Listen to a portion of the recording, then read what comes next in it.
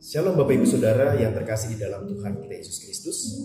Uh, pada kesempatan kali ini kita bersama-sama kembali di dalam renungan uh, tengah minggu GKI Citra Raya akan merenungkan satu buah tema yaitu dikasih untuk mengasihi. Sebelum kita merenungkannya, mari kita bersatu hati di dalam doa. Bapak yang baik kami bersyukur kepadamu pada kesempatan ini kami boleh uh, bersatu hati datang kepadamu dan kami bersama-sama juga mau merenungkan firman. Tuhan tolong setiap kami agar apa yang kami mau malam hari ini sungguh menjadi bekal kami, sungguh menjadi kekuatan bagi kami, sehingga di dalam kehidupan kami kami boleh selalu uh, melakukan segala apa yang Tuhan perintahkan kepada kami. Biarlah firman-Mu boleh terus melekat dalam hati setiap kami, sehingga kami menjadi pelaku firman Tuhan di dalam kehidupan kami. Dalam nama Tuhan Yesus kami berdoa. Amin. Bapak Ibu Saudara, mari kita bersama-sama membuka satu bagian uh, firman Tuhan dari Efesus pasal yang kelima ayat yang kedua, Bapak Ibu Saudara. Efesus pasal yang kelima ayat yang kedua yang berbunyi demikian. Dan hiduplah di dalam kasih, sebagaimana Kristus Yesus juga telah mengasihi kamu dan telah menyerahkan dirinya untuk kita sebagai persembahan dan korban yang harum bagi Allah. Bapak Ibu Saudara yang kasih di dalam Tuhan Yesus Kristus kembali kalau berbicara tentang kasih begitu ya. Uh, kalau mau mengasihi orang lain itu sebenarnya merupakan bentuk uh, apa ya bentuk balasan kasih yang Tuhan sudah berikan kepada kita sebenarnya.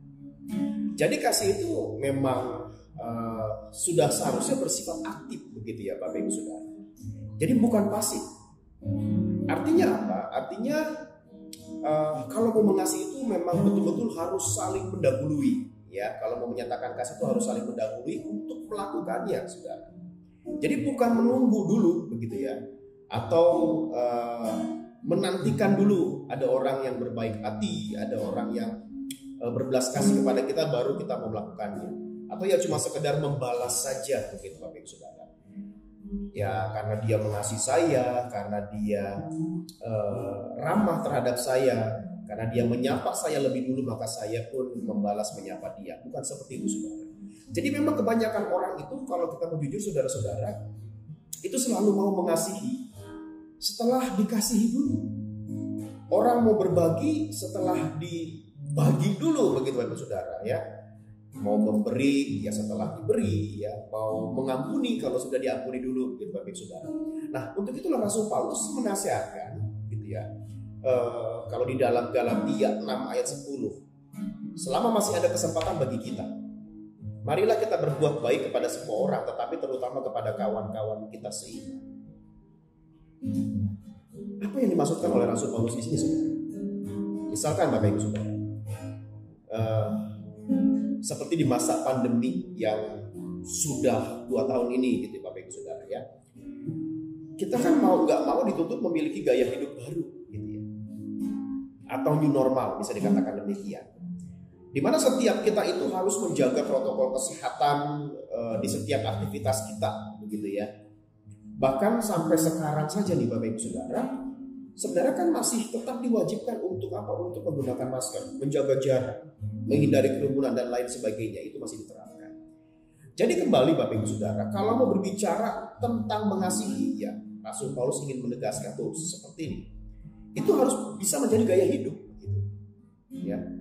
Dan gaya hidup mengasihi itu sendiri merupakan eh, kehendak dan perintah Tuhan dalam kehidupan setiap umat percaya begitu ya. Di mana setiap orang percaya itu memang harus saling mengasihi, ya, saling mencintai dengan tulus, saling mengampuni gitu ya, saling memahami. Jadi bukan malah saling marah, saling dendam ya.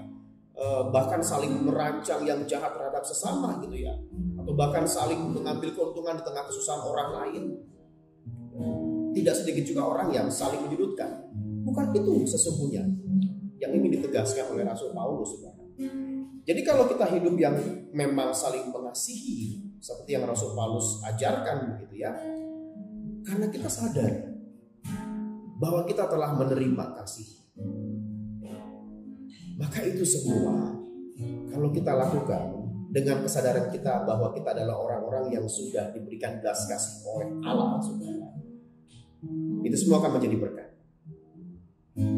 Ketika kita menyatakan kasih itu semua akan menjadi berkat dan menghadirkan Kristus dalam segala aktivitas kehidupan kita, saudara. Saudara kasih di dalam Tuhan. Jika ada seorang bertanya, ya, apakah saudara mengasihi orang lain? Lalu saudara menjawab, oh jelas, sudah pasti saya mengasihi orang lain. Kemudian ketika saudara ditanya lagi, apakah saudara melakukannya dengan tulus? Maka apa jawab saudara? Jawabnya adalah buah dari kasih Allah itu adalah ketulusan. Tuhan yang Maha Kasih itu menciptakan kita dengan uh, kasihnya, dengan cintanya yang luar biasa. Jadi di saat kita menemukan kebahagiaan bersama orang-orang di sekitar kita, maka ketulusan itu ketulusan untuk mengasihi itu akan ada. Saudara-saudara, satu hal yang paling penting untuk kita ketahui tentang kasih itu adalah seperti yang tertulis di dalam 1 eh, Yohanes 4 ayat 19 Saudara. Bahwa semua kasih berawal dari Allah. Semuanya berasal dari Allah. Seperti juga ketika Musa berkata kepada orang-orang Israel begitu ya, bahwa Allah begitu mengasihi leluhur mereka sehingga mereka dipilih menjadi umatnya di dalam ulangan saudara. Maka untuk itulah mereka harus mengasihi sesama mereka termasuk orang-orang asing sekalipun. Jadi saudara kasih di dalam Tuhan tujuan Allah adalah supaya setiap orang yang menerima kasihnya itu termasuk kita dia yang sudah menerima kasihnya itu akan menjadi saluran kasihnya kepada orang lain. Jadi secara tidak langsung kita itu adalah orang-orang yang dipilihnya untuk menjadi saluran kasihnya. Gereja hadir juga untuk menyalurkan kasihnya. Tetapi barang siapa yang di luar Allah, saudara-saudara ya, tidak ada seorang pun dari kita yang dapat benar-benar mengasihi atau dikasihi. Kalau di luar Allah. Jadi nggak heran Bapak Ibu Saudara yang kasih di dalam Tuhan kalau dunia eh, kita sekarang begitu ya itu menjadi tempat yang kurang akrab dengan yang namanya kasih. Seperti khotbah minggu kemarin Bapak Ibu Saudara bahwa sifat egoisme ya. Ego kita begitu ya. Dan ketidakpedulian kita begitu ya. Itulah yang berkuasa. Sifat egoisme sikap tidak peduli itu yang sekarang berkuasa di dunia ini Dan yang lebih menyedihkan lagi sudah kasih dalam Tuhan, uh, ini tuh apa ya? Seringkali terjadi di sebuah komunitas yang seharusnya paling banyak uh, memancarkan, menciptakan kasih itu sendiri. Di manakah itu, saudara? Kalau kita menyadari itu banyak terjadi di gereja dan keluarga. Inilah yang sangat-sangat memprihatinkan saudara. Kembali pada pertanyaannya. Kenapa kita harus mengasihi orang lain?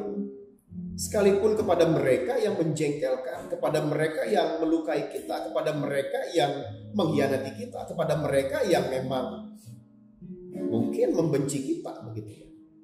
Dan kira-kira seperti apa kita mengasihi mereka? Saudara kasih di dalam Tuhan. Di tengah situasi seperti ini, eh, kita ingat bagaimana Rasul Paulus mengingatkan jemaat bahwa mereka itu adalah orang-orang pilihan Allah yang dikuduskan dan dikasihinya. Maka berlakulah demikian terhadap sesamamu. Itulah yang kita pegang, saudara. Jadi mari, saudara yang kasih di dalam Tuhan. Teruslah kita saling mengasihi sebab kita selalu dikasihi oleh Tuhan. Kiranya ya firman Tuhan saat ini memberikan semangat bagi kita, memberikan kekuatan kepada kita untuk senantiasa memancarkan cinta kasihnya bagi dunia ini. Kita hadir sebagai orang-orang yang dikasihnya, maka kita harus mengasihi sesama kita yang boleh ada. Tuhan Yesus memberkati.